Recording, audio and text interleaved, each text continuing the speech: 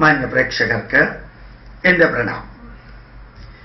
വളരെ ഗഹനമായിട്ടുള്ള ഒരു സീരിയസ് സന്ദേശം ഒരു സില്ലി കാര്യത്തെക്കുറിച്ചുള്ള സീരിയസ് സന്ദേശമാണ് ഞാൻ നിങ്ങൾക്ക് നൽകുന്നത്.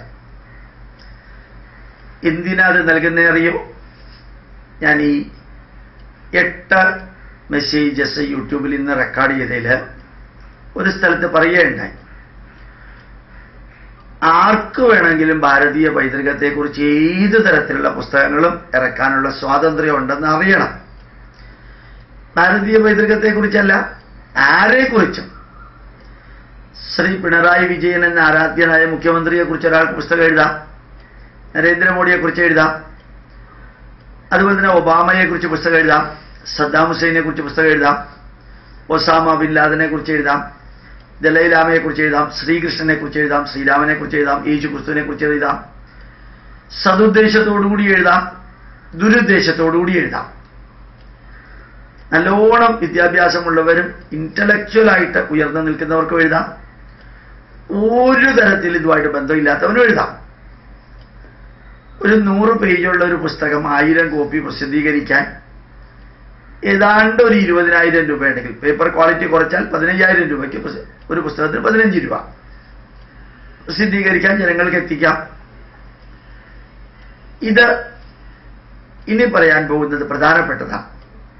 അങ്ങനെ ആരെങ്കിലും ഒരു പുസ്തകം എഴുതി വേദത്തെക്കുറിച്ച് എഴുതി ഉപനിഷത്തിനെ കുറിച്ച് എഴുതി പുരാണത്തെക്കുറിച്ച് എഴുതി അതും വെച്ചുകൊണ്ട് കുറേ മുസ്ലിങ്ങളോ കുറേ കമ്മ്യൂണിസ്റ്റുകാരോ കുറേ യുക്തിവാദികളോ കുറേ നിരീശ്വരവാദികളോ ഒരു മൊബൈൽ ഫോണിലെ വീഡിയോയിൽ ഇത് കുറെ കാര്യങ്ങൾ പറഞ്ഞ് അതൊരു അഞ്ച് മിനിറ്റ് കൊണ്ട് യൂട്യൂബിൽ അപ്ലോഡ് ചെയ്തു വിചാരിക്കാം. അതിന്റെ പുറകിൽ നിങ്ങൾ എന്തിനാ പോകുന്നേ? ആർക്ക് വേണമെങ്കിൽ എന്ത് വേണമെങ്കിൽ പറയാൻ സ്വാതന്ത്ര്യമില്ലേ? ഉദാഹരണമായിട്ട് ഈ ഒരു പുസ്തകം ശ്രീനാരായണ വൈഖരി ജീവിതത്തിൽ വായിച്ചിരിക്കേണ്ട ഒരു പുസ്തകമാണ്. ശ്രീനാരായണ ഗുരുദേവൻ എന്താണെന്ന് അറിയണമെങ്കിൽ ഈ പുസ്തകം മാത്രം വായിച്ചാൽ മതി. ഇത് സതുദ്ദേശത്തോടു കൂടി എഴുതിയിരിക്കുന്ന പുസ്തകമാണ്. ഒരു ദുരുദ്ദേശം അതിനകത്തില്ല.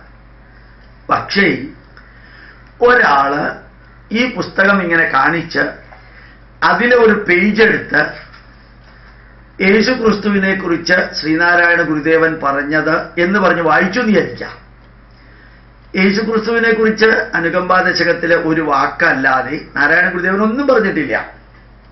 ഒന്നും പറഞ്ഞിട്ടില്ല. പക്ഷേ യേശു ക്രിസ്തുവിനെ കുറിച്ച് നാരായണ ഗുരുദേവൻ പറഞ്ഞ വരികൾ എന്ന് പറഞ്ഞ് ഇയാൾക്ക് തന്നെത്താനെ തോന്നിയത് ഇങ്ങനെ പിടിച്ച് വായിച്ചു വിചാരിക്കാം. നിങ്ങൾ എന്തിനാ അത് വിശ്വസിക്കാൻ പോകുന്നേ? ഇനി അഥവാ വിശ്വസിച്ചാലും ടെൻഷൻ എടുക്കാൻ പോണെന്തിനാ ഈ ടെൻഷൻ എടുത്ത് ലോകം മുഴുവൻ അത് സത്യമാണോ എന്ന് അന്വേഷിച്ചു പോകണം എന്തിനാ? ഇതിപ്പോ ചട്ടമ്പി സ്വാമികളുടെ പുസ്തകമാണ് ഗംഭീരമായിട്ടുള്ളൊരു പുസ്തകമാണ് നല്ലൊരു പുസ്തകമാണ് ശരിക്ക് പ്രൊഫസർ ജഗതി വേലായുധനാർ എഴുതിയ പുസ്തകമാണ് കവിതാരൂപത്തിൽ.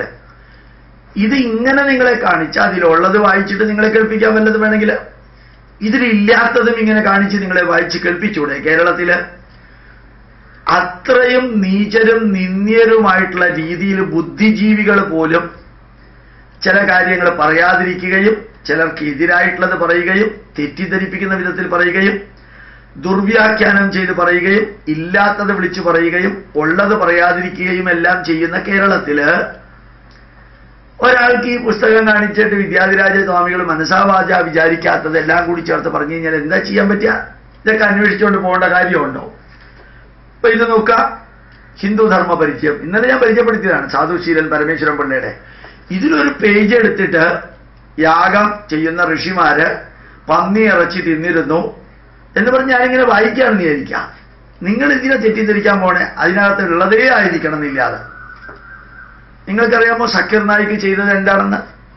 നൂറുകണക്കിന് വീഡിയോ ആണ് മുസ്ലിങ്ങളെ മുസ്ലിങ്ങളെ നമ്പൂതിരിയുടെ വേഷം കെട്ടിക്കുക. അഞ്ചു മിനിറ്റ് മതിയല്ലോ.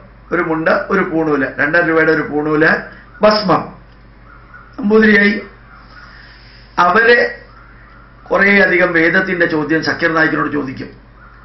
സക്കർ നായിക്ക് അതിന് പ്രത്യേക വികൃതമായിട്ടുള്ള വരട്ട് ന്യായത്തിന് ഉത്തരം കൊടുക്കും. അഞ്ച് മിനിറ്റ് കഴിയുമ്പോഴത്തേക്കും മുസ്ലിം വേഷം കെട്ടിയ നമ്പൂതിരിമാർ പറയും ഞങ്ങൾ ഇത്രയും കാലം വേദം പഠിച്ച് ഞങ്ങൾക്കൊന്നും മനസ്സിലായില്ല. ഇപ്പോഴാണ് വേദം മനസ്സിലായത്. ഞങ്ങൾ ഇസ്ലാം സ്വീകരിക്കാൻ പോവാണ്. ഇപ്പോഴാണ് വേദം മനസ്സിലായതെങ്കിൽ സ്വീകരിക്കേണ്ടത് വേദമല്ലേ? ഇയാളെ അല്ലല്ലോ സ്വീകരിക്കേണ്ടത്? അതുപോലും തിരിച്ചറിയാതെ ഈ മുസ്ലിങ്ങളാണ് ഈ നമ്പൂരിയുടെ വേഷം കെട്ടി പറ്റിക്കപ്പെടുന്നത് നമ്മൾ എന്ന് പോലും തിരിച്ചറിയാതെ അതിൽ വികാരം കൊണ്ട് അത് അന്വേഷിച്ചുകൊണ്ട് ഇറങ്ങാം എത്രയോ പുസ്തകം ഉദാഹരണമായിട്ട് ഞാൻ ഇങ്ങനെ തന്നെ കാണിച്ചു വിചാരിക്കാം. നാരായണ ഗുരുദേവനെ കുറിച്ച് ഇതൊരു ഡയറിയാണ്. പക്ഷെ നാരായണ ഗുരുദേവന്റെ പുസ്തകം കണ്ട ഉടനെ ചിത്രം കണ്ട ഉടനെ അത് ഗുരുദേവനെ കുറിച്ചുള്ള പുസ്തകമാണെന്ന് ധരിക്കാം നാരായണ ഗുരുദേവൻ അങ്ങനെ പറഞ്ഞിട്ടുണ്ടോ എന്ന് ചോദിക്കാം എന്നിട്ട് വികാരം കൊണ്ട് തുള്ളിച്ചാടുക. ഇത് സത്യമാണോ എന്ന് അന്വേഷിക്കാം. വേറൊരു പണിയില്ലേ നമുക്ക്? ഒന്നുകൂടി ഓർക്കാം. കാള ഇറച്ചിയെക്കുറിച്ചും പോത്തിന്റെ ഇറച്ചിയെക്കുറിച്ചും അതല്ലെങ്കിൽ അശ്വമേധ യാഗത്തിൽ കുതിരയുടെ കൂട്ടത്തിൽ സ്ത്രീകൾ കിടക്കുന്നതിനെക്കുറിച്ചും അതല്ലെങ്കിൽ കുതിരയുടെ ഇറച്ചി തിന്നുന്നതിനെക്കുറിച്ചും അശ്വമേധ യാഗത്തിൽ എന്ത് വേണമെങ്കിലും ആർക്ക് വേണമെങ്കിലും എഴുതാനുള്ള സ്വാതന്ത്ര്യമുണ്ട്. നമ്മൾ എന്തിനാ ഇതിന്റെ പുറകെ പോകുന്നത്? നമുക്ക് പഠിക്കാനുള്ളത് വേറെ ധാരാളം ഇല്ലേ ഇങ്ങനെ ഓരോ വികാരത്തിന്റെ പുറത്ത്. അത് യഥാർത്ഥത്തിൽ ചില ക്ഷേത്രങ്ങളിലൊക്കെ പ്രഭാഷണം കഴിഞ്ഞ് ഇറങ്ങുമ്പോൾ ചിലര് വന്ന് പറയുന്ന രീതി കാണണം. ഏതാണ്ട് അയാളുടെ വീട്ടുകാർ ആശുപത്രിയിലായ തീവ്രതയോടുകൂടി വന്നിട്ടാണ് ഇങ്ങനെയുള്ള സംശയങ്ങളൊക്കെ ചോദിക്കുന്നത്. ഇന്നലെ വരുന്ന രണ്ടുപേർ ചോദിച്ചു സാറേ ഒരു സംശയം ചോദിക്കാണ് ഞാൻ പറഞ്ഞു എനിക്ക് അറിഞ്ഞുകൂടാ പതിനഞ്ച് അവതാരങ്ങൾ ഇനിയും വന്നാലും ഹിന്ദുവിന്റെ സംശയം തീരില്ല. വേണ്ടതൊന്നും പഠിക്കുകയില്ല. വേണ്ടാത്തത് ചില തലയ്ക്ക് സുഖമില്ലാത്ത മുസ്ലിങ്ങളും തലയ്ക്ക് സുഖമില്ലാത്ത കുറെ ക്രിസ്ത്യാനികളും വേദത്തിനെയും പുരാണത്തിനെയും ദുർവ്യാഖ്യാനം ചെയ്യുന്ന വിധത്തിൽ പുസ്തകം എഴുതി അതിന്റെ പുറകിൽ സത്യാന്വേഷികളായിട്ട് പോകാനുള്ള ബാധ്യത ഏറ്റെടുത്തിരിക്കുന്ന കുറെ ഹിന്ദു യുവാക്കളുടെ ചോദ്യത്തിന് ഞാനാ ഉത്തരം പറയേണ്ടത്? നല്ലതിവിടെ ഇഷ്ടമായിട്ട് പഠിക്കാൻ. അതൊന്നും നോക്കാതെ ഏതോ ഞാൻ ഈ ഭൂമിയിൽ ജനിച്ചത് ഹിന്ദുധർമ്മം സംരക്ഷിക്കാനാണെന്നും അതിനെ ദുർവ്യാഖ്യാനം ചെയ്ത് ആരെങ്കിലും വിവരിച്ചു കഴിഞ്ഞാൽ അത് വാട്സപ്പിലൂടെ അതിനെതിരെ പ്രതികരിച്ചിട്ട് ജീവിതം മൊത്തത്തിൽ കൊളമാക്കേണ്ട ഉത്തരവാദിത്വം എനിക്ക് തന്നെയാണെന്നുള്ള ധാരണയിൽ ഓരോന്നും പറഞ്ഞു പോകുന്ന എന്തിനാ? നിങ്ങൾക്ക് ഹിന്ദു ധർമ്മത്തിനകത്ത് എന്തെങ്കിലും തിന്മകൾ ഉണ്ടെങ്കിൽ ഉണ്ടാവുമായിരിക്കാം. അതൊന്നും ഉപയോഗിച്ച് നമ്മൾ നാട്ടുകാരെ മതം മാറ്റാൻ പോണില്ലല്ലോ. ഇതിനകത്ത് തിന്മകൾ ഉണ്ടായിരിക്കാം. ശാസ്ത്രത്തിന് സയൻസുമായിട്ട് വിവരിക്കാൻ പറ്റാത്തത് ഉണ്ടായിരിക്കാം. ഇന്നത്തെ കാലഘട്ടത്തിൽ യോജിക്കാത്തത് ഉണ്ടാവാം. പക്ഷെ ഇതൊക്കെ എടുത്തിട്ട് ശ്രീകൃഷ്ണൻ ഏകരക്ഷകൻ. കൃഷ്ണനല്ലാതെ വേറെ വഴിയില്ല. മാനസാന്തരപ്പെടുവിൻ. സ്വർഗരാജ്യം നിങ്ങൾക്ക് മണ്ണാങ്കട്ട.